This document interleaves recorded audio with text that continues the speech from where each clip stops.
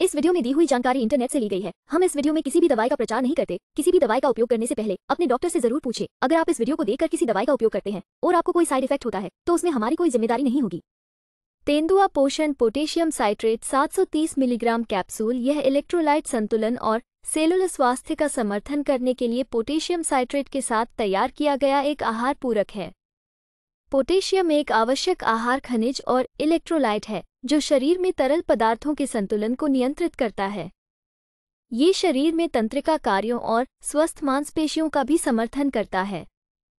चलिए जानते हैं इसके कुछ फायदों के बारे में। एक, यह इलेक्ट्रोलाइट संतुलन और सेलुलर स्वास्थ्य का समर्थन करने के लिए पोटेशियम साइट्रेट के साथ तैयार किया गया एक आहार पूरक है।